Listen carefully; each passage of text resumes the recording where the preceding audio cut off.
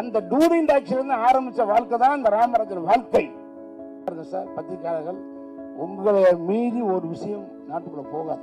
Sir எப்பதான் இன்ட்ரோலுங்கிறாதுங்கிறது அந்த மாதிரி நடக்கிற விஷயம் நான் படம் ஏதோ பார்த்துருக்கேன்.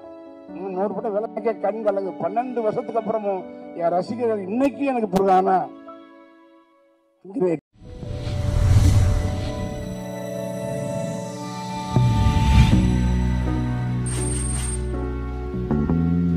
தெரிவித்துக் கொள்கின்றேன் நான் வந்து திரைப்படம் நாளைக்கு ரிலீஸ் ஆகும்போது பத்திரிக்கையாளர்னு பார்க்குறது இதுதான் எனக்கு ஃபஸ்ட் டைம் உங்களையெல்லாம் இப்படி சந்தித்து இப்படி ஒரு படம் நடித்து இவர் ஒரு படம் எடுத்து இவர் படம் இயக்கி இந்த மாதிரி இருக்கணும் பத்திரிக்கையாளர் நீ பார்க்கணும்னு ஆண்டவனே அந்த விபத்திலிருந்து தப்பிக்க வைத்து நாமல் எத்தனையோ பத்திரிகையிலையும் சரி வாழ்க்கையிலையும் சரி டயலாக்லையும் சரி மயிரிலையில் உயிர் தப்பினார்.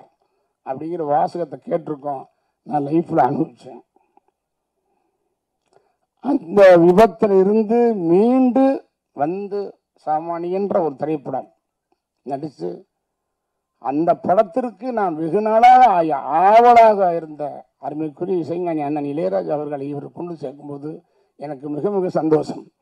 என்னுடைய படங்கள் இன்னைக்கும் வந்து villages I mean government bus ஆகட்டும் பிரைவேட் பஸ் ஆகட்டும் லோடு லாரி ஆகட்டும் கண்டெய்னர் ஆகட்டும் ஆட்டோவாகட்டும் எதுவாக இருந்தாலும் எல்லோருமே இரவிலே தூக்கம் வரக்கூடாது என்பதற்காக அவங்க சொல்லக்கூடிய வார்த்தையை நான் கேட்கின்றேன். இளையராஜா அவர்களும் மன்னன் அவர்களும் நானும் அந்த சேர்ந்த பாட்டை கேட்டால் எங்களுக்கு தூக்கம் வரவில்லை ஒரு மனசு இதமாக இருக்குது என்பது. அந்த மாதிரி அற்புதமான பாடல்கள் கொடுத்த அண்ணன் இசையானை சேர்த்தது தயாரிப்பாளருக்கும் டைரக்டருக்கும் நான் ரொம்ப சந்தோஷம் ரொம்ப கடமைப்பட்டிருக்கேன். இப்போ தயாரிப்பாளர் சொல்லும்போது என்னென்னா நான் நிறையா படங்கள் கதை கேட்டுக்கிட்டு தான் இருந்தேன். இல்லாமல் இல்லை. பட் எனக்கு அது செட் ஆகலை. ஏன்னா நம்ம வந்து அது நடிக்கிறது நடிச்சு கொடுக்கலாம் நடிகன்னா எல்லா வருஷமும் நடிச்சு தான் ஆகணும். அதுதான் நடிகன். ஆனால் அது எந்த ரூபத்தில் ஒரு கோட் ஆகுன்னு போகிறோம் வரமே தலைவர் புரட்சி தலைவர் எம்ஜிஆர் இருக்காரு நடிகர் தலை சிவாஜி சார் இருக்காரு. இப்போ உலகத்துக்கே நடிப்பு சக்கரவர்த்தி நடிப்பை கற்றுக் கொடுத்தாருன்னா நடிகர் திரு சுவாஜி சார்.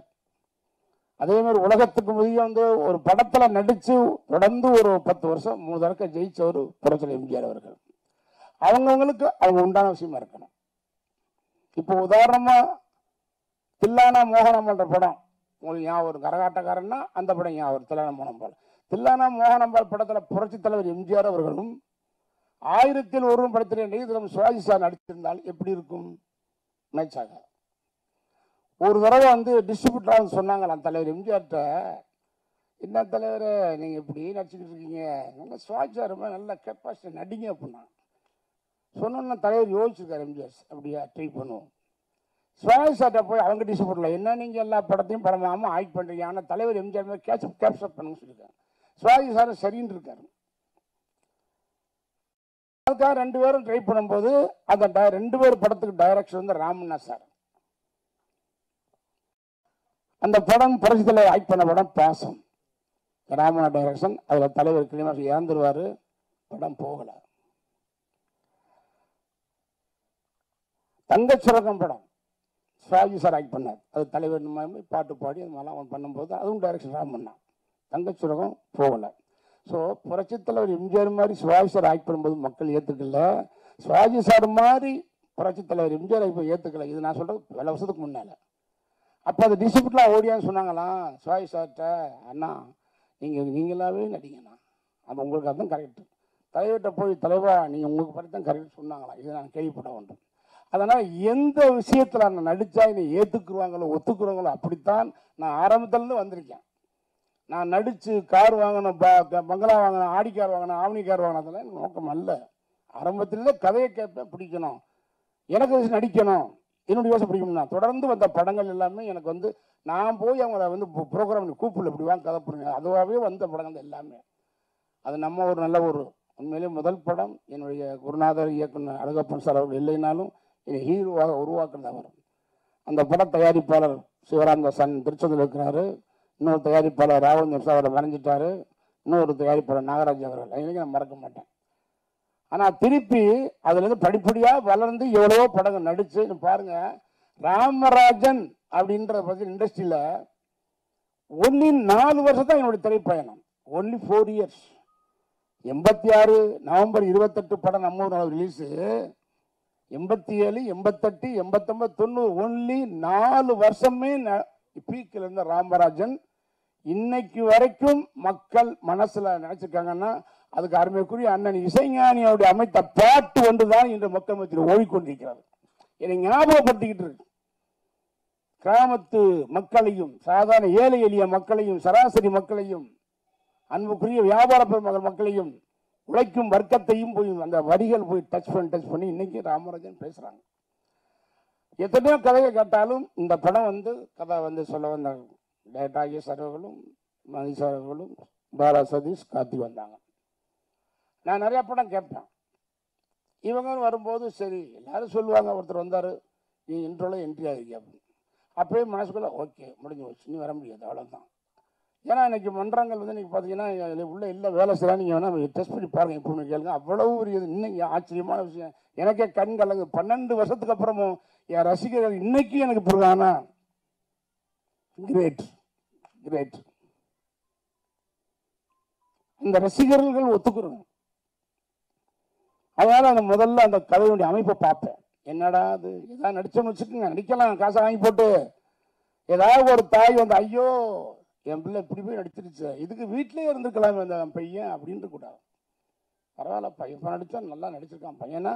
என்னுடைய படங்கள் இருந்தால் இதெல்லாம் இருக்காது. இதை எதிர்பார்த்து வர்றான்னு ஏமாற்றக்கூடாது ஆக எத்தனையோ கதையை பண்ணாலும் அவங்க கதை சொல்லும்போது நான் உன்னிப்பாக கவனிச்சேன். இதை நான் பண்ணலாம் போது முதல்ல ஒரு அஞ்சு நிமிஷம் கேட்டோன்னே முடிவு பண்ணிட்டேன். ஓகே ஒரு மாதிரி போகுது அப்படின்னாலும் நம்முடைய கேரக்டர் தன்மையும் கட்டக்கூடாது. அதே மாதிரி நம்ம பழசு டைப்பாக போயிடக்கூடாது இந்த ஜென்ரேஷன் மட்டும் இல்லை போன ஜென்ரேஷன் இல்லை நாளைக்கு ஜென்ரேஷன் ஜென்ரேஷன் மாறிச்சு ஜென்ரேஷன் மாறிச்சுன்னு சொல்கிறோம் தவிர ரேஷன் கார்டில் இன்னைக்கு கூட்டம் அப்படி தான் இருக்குது அதனால் எந்த ஜென்ரேஷனுக்கும் போதுற மாதிரி டைரக்ட் பண்ணியிருக்காரு தயாரிப்படுத்துக்காரு கதை எப்படி?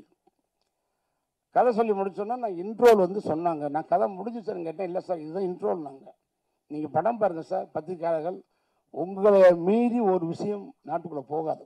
வடகொரியா சரி கேள்விப்பட்டிருப்பீங்க நான் கேள்விப்பட்டேன். அங்கேருந்து ஒரு நியூஸ் வெளியே போகாது வெளியே இருந்து ஒரு நியூஸ் உள்ள வராது. இந்த வடகொரியாவை நான் கேள்விப்பட்டேன். அது மாதிரி உங்கள் பத்திரிகையாளர்கள் ஊடகங்கள் இல்லாமல் இன்னைக்கு யாருக்கும் எந்த நியூஸ் தர்றதில்லை ஏன்னா எங்களுக்கு நியூஸை மொத மொதல் தெரிவிக்கிறத நீங்கள் தான் போடுறீங்க டிவியில் நீங்கள் சொல்லித்தான் நாங்கள் பார்க்குறோம் வீட்டில் இதுதான் உண்மை. அது மாதிரி என்னை பொறுத்த வரைக்கும் அவங்க சொல்லும்போது இந்த இன்ட்ரோல் பிளாக் பாருங்கள் ஹண்ட்ரட் பர்சன்ட் சினிமாவில் நான் வந்து பெருமைக்காக சொல்லலை உரிமையாக சொல்கிறேன் உண்மையை சொல்கிறேன் நீங்கள் வேணால் விசாரிச்சு எழுதுங்க. ராமராஜன் சொல்கிறது உண்மையாக பொய்யா? ஒரு திரையரங்கில் வந்து டூரிங் டாக்கீஸ் ஒரு சினிமாவுடைய அடித்தளம் ஆரம்பத்தில் வந்து புடி புடிச பிள்ளையா சொல்லி போடுற படம் எடுக்கலாம்னு. அதுக்கப்புறம் டைரக்டர் அப்புறம் ஆர்டிஸ்ட் கதை ஓகே பண்ணி எல்லாம் பண்ணி ஷூட்டிங் பண்ணி டப்பிங் பண்ணி எல்லாம் பண்ணி ரீரிகார்டிங் பண்ணி பாட்டு போட்டு எல்லாம் எடுத்து தேட்டர் ரிலீஸ் பண்ணி டிஸ்ட்ரிபியூட்டர் வாங்கி அப்புறம் பி சென்டர் சி சென்டர் கடைசியில் போய் இங்கே சேருது அங்கே காவிரி நாயக்கர் தண்ணீர் கடமடைக்கு போகிற மாதிரி இந்த திரையரங்கத்தில் ஃபஸ்ட் காப்பி எடுக்கிற படம் இங்கே லாஸ்ட் தான் டூரிங் டாக்ஸில் போய் நிற்கிறதா லாஸ்ட் சினிமாவுக்கு அந்த டூரிங் டாக்ஸிலேருந்து ஆரம்பித்த வாழ்க்கை தான் இந்த ராமராஜன் வாழ்க்கை. இது கடவுள் கொடுத்த வரப்பிரசாதம். அங்கிருந்து வந்து உதவி டைரக்டர் அசிஸ்டன்ட் டைரக்டர் ஆகி டைரக்டர் ஆகி நடிகனாகி ப்ரொடியூசர் ஆகி டிஸ்ட்ரிபியூட்டர் ஆகி ஏன் தேட்டர் கூட வாங்கினேன்.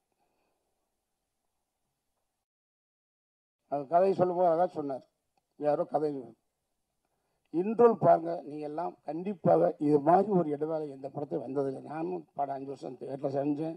சின்ன வயசுலேருந்து படம் பார்க்கறதே படம் இந்த இன்ட்ரோல் கிடையாது. அருமையான சப்ஜெக்ட் மக்களுக்கு அன்றாடம் இது நடக்கக்கூடிய ஒரு விஷயம். எல்லோரும் மனதையும் பாதிக்க வேண்டிய விஷயம்.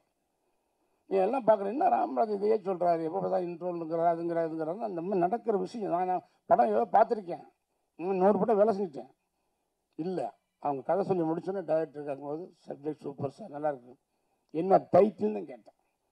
ஏன்னா எனக்கு எப்போவும் இந்த டைட்டிலுங்கிறது மிகப்பெரிய ஒரு விஷயம். ஏன்னா அந்த டைட்டில் வந்து நம்ம மனிதர்களுக்கும் இந்த அண்ணன் நெல்லை சுந்தர உட்கார சுந்தரராஜன் அது பார்த்த பார்த்த பார்த்தா நெல்லை சுந்தரராஜன் ஞாபகம். அந்த பேர் தான் முக்கியம். அதனால் டைட்டில் வந்து நான் ரொம்ப கேர்ஃபுல்லாக பார்ப்பேன். அப்போ அவங்க வந்து வேறு ஒரு டைட்டில் சொன்னாங்க. இல்லை சார் சரியாக வராது. அது நான் வந்து ஐயா. அப்புறம் சாமானியன்னு சொன்னாங்க.